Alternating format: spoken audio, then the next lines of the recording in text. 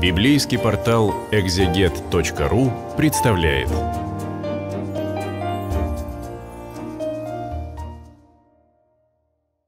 Сегодня на библейском э, портале «Экзегет» мы продолжаем изучение псалмов царя э, Давида. Господи, помяни царя Давида и всю кротость его. И сегодня мы будем читать 64-й э, псалом. В православной толковой Библии говорится псалом по надписанию э, в еврейской, греческой и латинской Библии единогласно приписывается Давиду. В какое время и по какому поводу э, написан э, псалом, не дает определенных указаний. В своем содержании он представляет гимн Богу за его милости к еврейскому а, народу, изображает его всемогущество над всею землею. Вот такое объяснение дается э, в православной э, толковой э, Библии преемников Лопухина. И далее посмотрим, какие надписания этого псалма. По Септуагинте в переводе Юнгерова надписание Э, в конец псалом «Песнь Давида», «Песнь Еремии и Иезекииля, народа переселенного, когда хотели они выходить из плена». То есть написание достаточно сложное. Здесь имеется в виду, это песнь э, Давида – а, но эту песню э, исполняли э, два пророка э, Божия. Это те пророки, которые вдохновляли людей на переселение а, из пленения, когда они выходили из вавилонского плена. Это имеется в виду. То есть э, псалом, составленный Давидом, как пишет вот, э, э, Феодорит, был с любовью читаем и храним пророками Иеремией и Закиилем, а также всем еврейским народам, э, переселенным в Вавилонский плен и дожившим до возвращения оттуда. Это написание э, находится как и говорил блаженный Феодорит, не во всех э, греческих э, списках. Э, ну, надписание в церковно-славянском такое же, как по Септуагинте. А в конец псалом «Песнь Давиду», «Песнь Иеремиева, Иезекиилева», «Людия», «Переселения», «Ехдахатяху», «Исходите». То есть когда хотели пережить исход. А э, в еврейском говорится очень просто «Лам нациях мезмор ле Давид шир». А, то есть э, управителю э, псалом от Давида, и вот это добавление «шир» означает «песнь». «Шир» – это значит «песнь». И начало самого этого псалма «Тебе, Боже, приличествует песнь в Сионе, и Тебе а, будет воздаваема молитва в Иерусалиме». О чем здесь э, говорится? О том, что приличественно Бога восхвалять на Святой горе, Сионе – и э, петь на Сионе, и э, воздавать молитвы Создателю в Иерусалиме, то есть в святом городе. Иерусалим э, в христианском понимании – это образ церкви, которую со всех сторон осаждают э, враги. Они хотят разрушить э, Сион. Сион – это тоже образ церкви – и сокрушить Иерусалим, как символ града Божия. И я напомню точку зрения э, блаженного Августина, который настаивал на том, что существует в этом мире только два града. Град Божий и град дьявола. Так вот, э, град Божий – это церковь, а град э, дьявола – это все те, которые последовали за дьяволом в своей злобе, в своих бесчинствах, Тебе, Боже, приличествует песня в Сионе, и тебе э, будет воздаваема молитва в Иерусалиме. И далее. «Услышь молитву мою, к тебе придет всякая плоть». Давайте посмотрим, как это звучит э, с еврейского молитву э, слышащий, к тебе всякая плоть придет. То есть э, молитва, она принимается Богом, она к Нему обращена, и всякая плоть э, рано или поздно начинает молиться. Когда это происходит? Особенно это происходит тогда, когда какие-то критические обстоятельства в жизни. Например, когда по благословению священного начале я несколько раз Э, посещал э, Чеченскую республику во время Второй войны, я там не нашел ни одного неверующего. То есть э, все люди, которые там были, они все были верующие. Вот не было ни одного случая. Вот в обычной жизни можно найти неверующего. А когда какая-то критическая ситуация, вот, война, здесь совершенно очевидно все становятся верующими. Потому что а какая надежда может появиться в сердце человека, если он не верит в Бога, а его жизнь как бы на грани э, того, что она как бы может и прекратиться.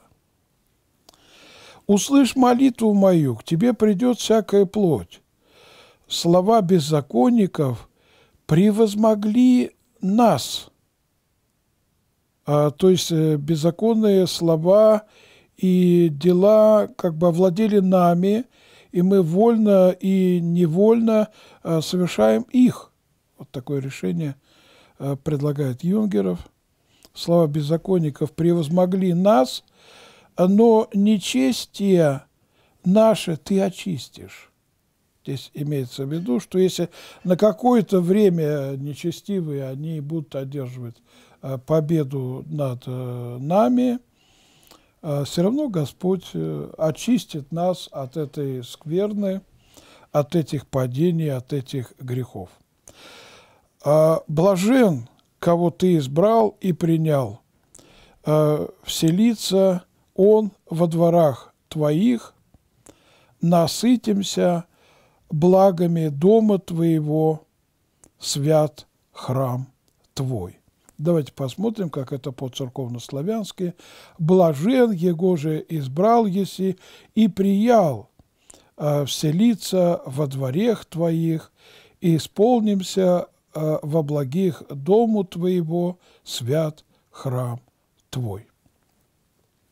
То есть, если человек э, направляет свои стопы к храму Божьему, это значит, Господь как-то его вдохновил на это. И далее – дивен правдою, дивен э, правдою, э, имеется в виду э, входящих в него, то есть в храм, Господь поучает словами правды. Вот такое решение находит Афанасий Великий и э, Феодорит Кирский. Дивен правдою – Услышь нас, Боже, Спаситель наш, упование всех концов земли и находящихся в море далеко. По-церковно-славянски «Дивен правде, услышанный Боже, Спасителю наш, упование всех концов земли и сущих в море далече». Седьмого стиха и ниже «Ты утверждаешь горы силою Своею, припоясан могуществом, а возмущаешь глубину моря, пред шумом волн его кто устоит? Придут в смятение народы, и убоятся знамений твоих, живущие на пределах земли. Пределы утра и вечера ты украшаешь. То есть мощь Бога, она э, проявляется во всем мире. Богу принадлежит не только э, земля, но и небо. Небо – престол его, земля – подножие ног его, и он управляет всем мирозданием. И э, какой народ, какой язык э, не поклонится перед Богом, осознавая свою зависимость от Него. И убоятся знамений Твоих, живущие на пределах земли. Э, пределы утра и вечера Ты украшаешь. То есть, где бы ни жили бы люди, они будут испытывать страх э, Божий, э, величие Его могущества, которое проявляется в мире природы, особенно а, в моменты каких-то катаклизм, природных землетрясения, извержения вулкана, цунами. Ты посетил землю и э, напоил ее, обильно обогатил ее. Река Божия наполнилась водами. Ты приготовил пищу им, ибо таково есть устройство ее. То есть э, Господь позаботился о том, чтобы тот мир, в котором мы с вами э, живем, он был бы наполнен всем э, необходимым. Таким образом, мы видим, что вот в этом псалме говорится о Боге, который превознесен над всеми народами. Как бы человеческая история не замыкается только на истории еврейского народа, Э, потому что Господь э, ведет некий внутренний диалог со всем своим творением, с каждым народом. И если бы Бог э, прекратил вести диалог с любой частью людей, живущих на этой планете, то они прекратили свое существование, как я часто объясняю. Одиннадцатый стих. «Борозды ее напой, умножь произведение ее, от каплей своих она возвеселится, произвращающая их. Произвращающая их. Э, то есть, если Господь э, начал созидать этот э, земной дом, то Он не прекратит это свое действие, Он и дальше будет господствовать над этим миром и превозноситься над всем творением. И э, вот эти слова «борозды ее э, напой», возможный перевод «гряды ее напаяешь», здесь говорится э, о благе дождя.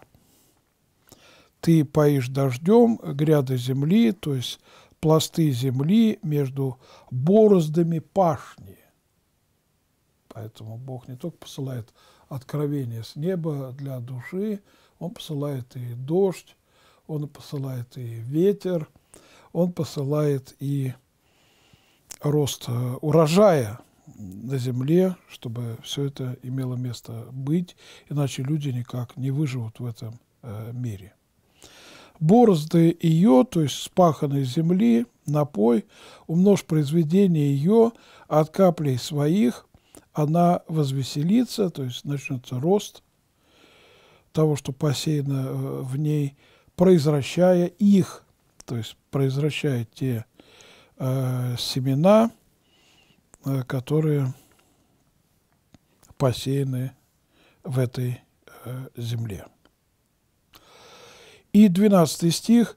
«Ты благословишь круг лета благости Твоей, и поля твои наполнятся туком, и поля твои наполнятся туком.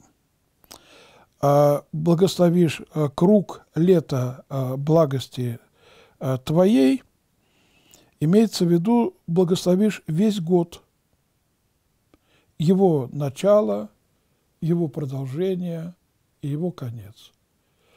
Во время года как бы повторяется круг существования, который был в другом году.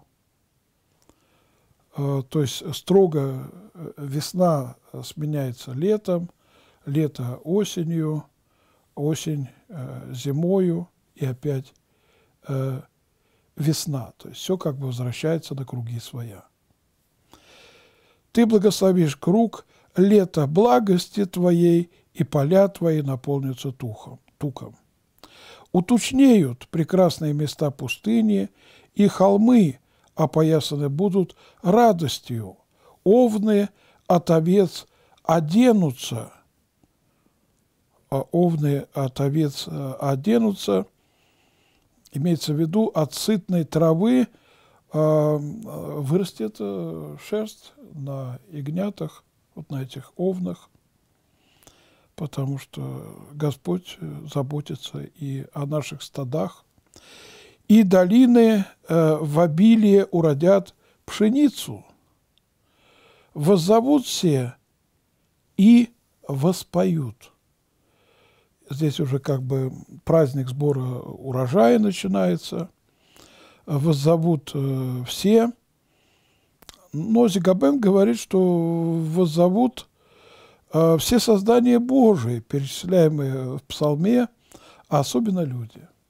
То есть вся природа будет э, благодарить Создателя за те благости и милости, которые он изливает на свое творение, и воспоют.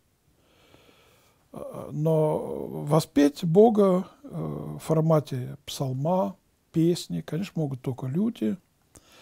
Хотя в псалмах самих мы часто встречаем, что звери взывают к Богу, там лев выходит на охоту, взывает, там птенцы в гнездышке сидят, тоже взывают потому что они просят э, всего потребного. А люди могут не только взывать э, к Богу в своих нуждах, они могут и воспевать э, Бога, в том числе и с помощью богодухновенной псалтыри.